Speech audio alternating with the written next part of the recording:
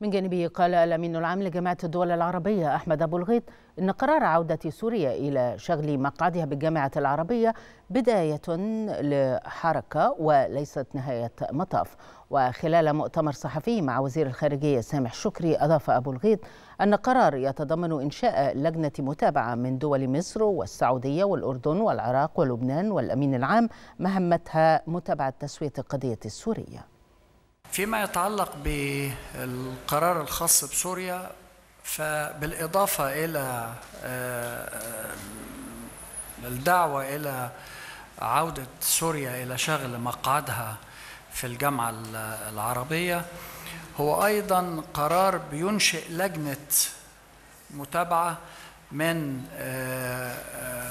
مصر والسعودية والأردن والعراق والأمين العام وهو أيضا وهي لجنة أيضا مهمتها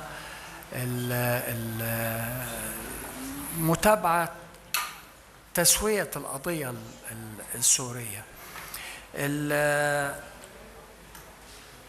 عودة سوريا إلى شغل المقعد هي بداية حركة.